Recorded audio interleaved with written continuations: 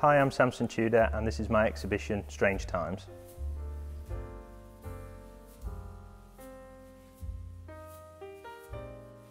So the title Strange Times um, I wrestled with quite a bit actually. I, I wanted to pick something that encapsulated the bizarre, surreal world that we've, we've lived in the past three years now.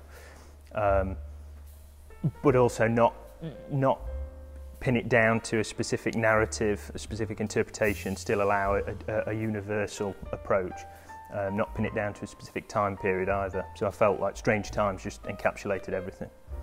Yeah, I wanted to explore the world as stage, uh, the theatre of the world concept, um, just because it allowed such a, a fantastic spectrum of, um, of, of literal interpretation and metaphoric, in, metaphorical interpretation, uh, and allowed for a huge scope of, of visual imagery uh, and a, a rich vein of iconography to explore.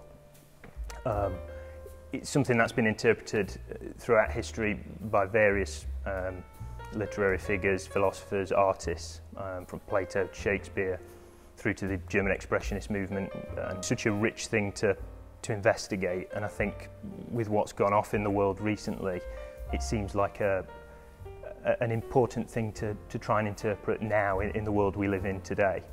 Um, so that's why that's why I chose to to explore that.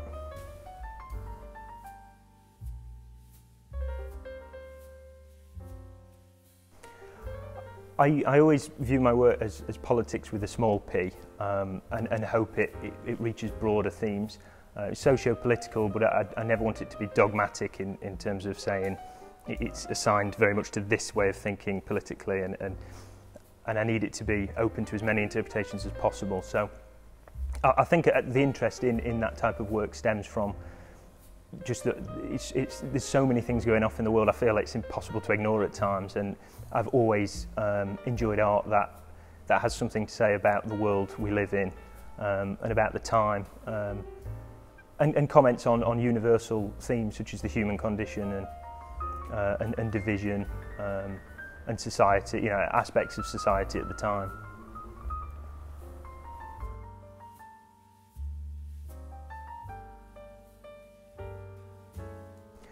The work, I, the work doesn't carry any particular comment in terms of um, the patriarchy or any gender statements. It's not a, a preoccupation. Gender isn't a preoccupation of the of the work.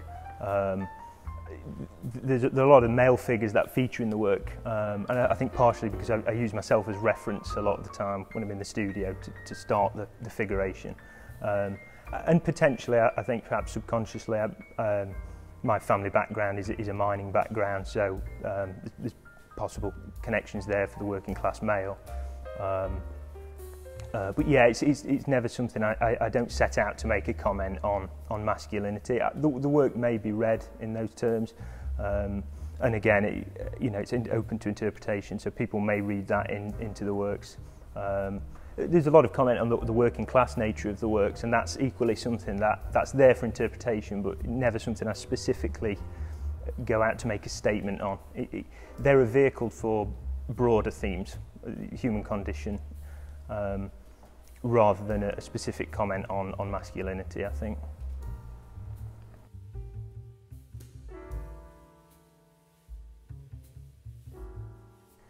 So I always think the, the works have to be open to interpretation, um, have to be engaging, crucially, um, and have to invite the audience um, to almost complete the picture by reading into it a, a variety of things and uh, potential different narratives, different themes. I, I never want the work to be dogmatic in saying it has to be, it, you have to read this into it, it's, it's, you have to see this as a, as a definite piece of commentary. I think when you view the work um, with the context of being socio-political and, and what's going off in the world and what's gone off the past few years. Um, I think there's a, there's a huge range of, of things that can be read into each piece for sure. That's where the atmosphere and the tone of the work's crucial um, because I think that, that leads the viewer um, to certain commentaries potentially, but, but again, they have to they have to bring their own interpretations. The viewer, crucially, the audience, crucially complete the picture um, which again links thematically. There's, there's a few comments around spectatorship, I guess, with, with these works, um, linking back to the world, the stage, and the theatre of the world. Um, you know, part of the act of painting, obviously the act of looking, the act of spectating. Um, there's a few portraits in here that looking straight back at the viewers with that, that questioning glance. Um, so all of that ties in again to the theme.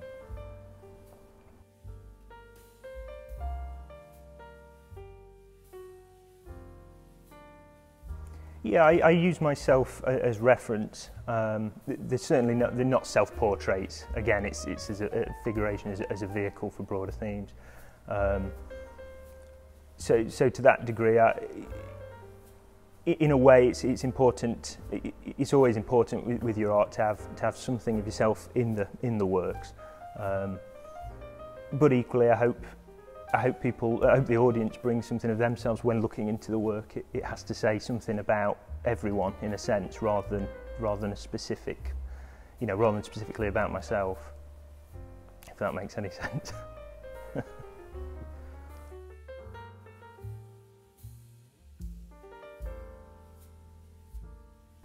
So a lot, a lot of the um, German expressionist movement, um, Max Beckmann, Käthe Kollwitz, Otto Dix, all artists that, that responded to the world they lived in and the times they lived in. Um, so the socio-political artists interest me um, uh, and, and the movements that, that relate to that really. Um, but but there's, a, there's a big range of historical influences. I'm, I'm fascinated by, by loads of art movements um, and I think they've all got so many things to say, particularly about the, the time period they lived in.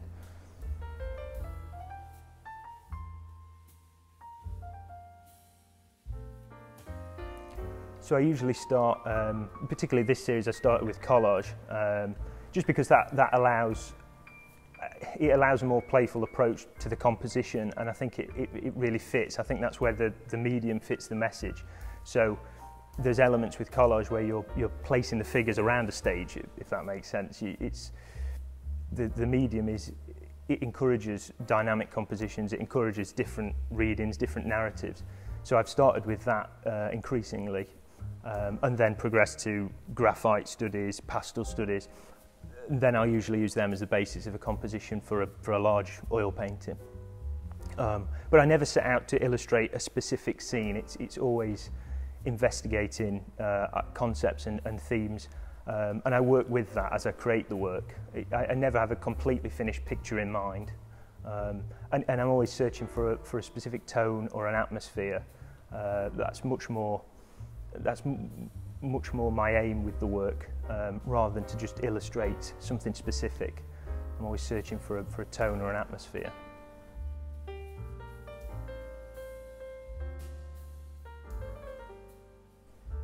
Yeah, so so I particularly in my in my drawing, which my drawing style has always been quite a graphic style, um, and I've always tried to ramp up the sculptural qualities of it, um, which is why I, I'm such a big fan of the German expressionist movement. Um, and I think the figuration allows much more energetic compositions, and, and the sculptural qualities sort of um, move move you move the audience from from one element of the composition to the next, and, and imply different narratives. Um, and that, that started actually, that, that style in terms of the drawing started with, with life drawing classes at university um, where I very quickly layered the paper with heavy graphite and then would carve the light into the drawing with a rubber. Um, and so that was a very sculptural way of, of working and I, I tried to translate that into the paintings, um, into the collages, into the pastels as well.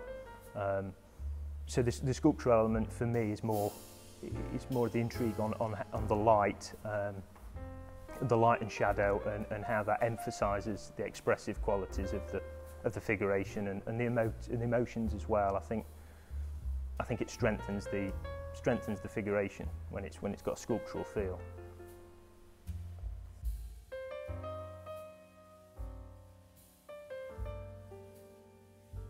So Memoir is probably the, the most melancholic, um, somber painting in the exhibition.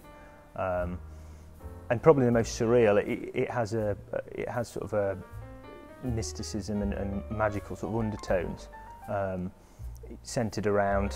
Well, it's 12 figures around a table, so it immediately recalls the Last Supper as well as um, Da Vinci's Last Supper, as well as Cézanne's card players. Um, th there's a sense, uh, again, the theatre of the world. There's a sense of um, things unfolding and, and scenery changing around characters living out their daily lives. Um, whilst there's there's potential there's potentially quite a variety of, of different narratives at play, um, and that can be interpreted in, in so many different ways.